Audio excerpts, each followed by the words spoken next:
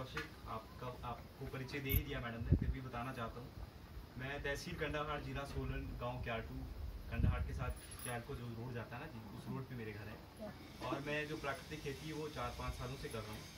इसकी जो ट्रेनिंग है मैंने सुभाष पालेकर जी आप जानते हैं इसके जो जन्मदाता है जिन्होंने दवाइयों की खोज की जो कि आपको सुरेश जी ने भी बताया होगा। वो उनसे हमने डायरेक्ट ट्रेनिंग ली थी नोनी में। तो हमें बहुत सारा अनुभव मतलब वहाँ बैठ के हमें ये लगा कि हमने प्रैक्टिकल तो ये तो सीखा ही लेकिन प्रैक्टिकल अनुभव भी हमें मिला वहाँ पे बैठ के ना तो जो आपका महिला मंडल क्या कौन सा ग्रुप विजय लक्ष्मी ग्रुप आप आप आपने हमें आज इनवाइट किया। यहाँ पे आपको भी बहुत बहुत मेरी तरफ़ से बहुत बहुत शुभकामनाएँ हैं कि आप आने वाले समय में प्राकृतिक खेती को और आगे करेंगे। जैसा कि आपको सुरेश जी ने बताया होगा कि प्राकृतिक खेती है क्या? सबसे पहले तो हमें क्लियर होना चाहिए कि है क्या जिसकी तरफ़ हम जा रहे हैं। तो प्राकृतिक खेती एक ऐसी खेती है जिसमें हम बाज़ार की दवाइयों का प्रयोग ना करते हुए सिर्फ़ और सिर्फ़ इसमें प्रयोग करते हैं, जैसे आपकी स्थानीय यहाँ पे लोकल पत्ते होते हैं, गाय का गोमूत्र, पहाड़ी और देसी गाय का गोमूत्र पे आधारित खेती है। कुछ खेती है जिसमें हम कुछ टॉनिक लेते हैं, दालों से निकलता हुआ टॉनिक होता है, हमारी खट्टी लस्सी होती है, खट्टी लस्सी से। इन सभी तरीकों से हमारी सात, आठ तरह की दवाइयाँ बनती है। और एक दवाई आती है, सात तरह की लिक्विड है, एक आठवीं जो दवाई आती है, उसको ठोस कह सकते हैं आप, वो एक तरह की खाद जिसको हम कहते हैं घन जीवामृत तो ये जो पूरा प्रोसेस है, ये पूरे अगर आप प्रैक्टिकली रूप से इसको पूरा करेंगे, शुरुआत से लेकर अंत तक इसको करेंगे, कैसे आपने बीजामृत करना है बीज संस्कार करना है, उसके बाद कैसे जीवामृत करना है, वो आपको इसके बारे में हमारे साथ बैठे हैं, ये बताएँगे। मैं अपना अनुभव शेयर करूँगा सबसे पहले आपको, कि जब मैंने ये खेती स्टार्ट की 2017 में तो स्टार्टिंग में मुझे भी बड़ी दिक्कतों का सामना करना पड़ा। एक तो जो हमारा फैमिली किता जिसे दादा लाई किता बोलते हैं वो खेती बाड़ी है इसके अलावा और काम तो सभी के कोई ना कोई बिज़नेस वे से कोई ना कोई जाता ही है। लेकिन जो मेरा मेन काम था हमारा खेती बाड़ी का था।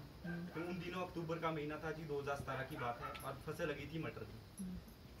मटर में लगता है रोग पाउडरी मिल्डियो जिसे अंग्रेज़ी भाषा में पाउडरी मिल्डियो और हिंदी में हम कहते हैं सफ़ेद चूर्णी रोग। वो एक ऐसा रोग होता है जिससे हमारा पूरा फल है जो हमारी फलियाँ आती है मटर की वो बिल्कुल ख़राब हो जाती है। जब पत्ता ही ठीक नहीं रहा तो अपने आप नेचुरली है कि फलियाँ भी ख़राब होनी शुरू हो जाती तो इसको मैंने यूट्यूब पे सुभाष पालेकर की ट्रेनिंग से पहले यूट्यूब पे देखा था कि किस तरीके से वो पाउडर मिल्डी को हटाते हैं।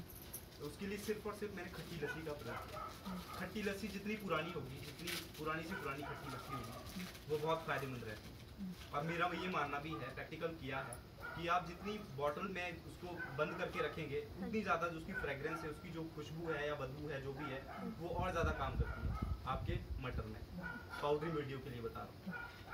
तो ये अनुभव मेरा अपने खेतों में रहा जी, अभी तक जो रहा है, अभी हाल में जो आपको बताना चाहता हूँ कि मैंने लगभग 6000 प्लांट टमाटर के लगा रखे हैं 5000 मैंने शिमला मिर्च लगा रखी है 6000 प्लांट मेरे पास कॉलीफ्लावर फूल गोभी के थे।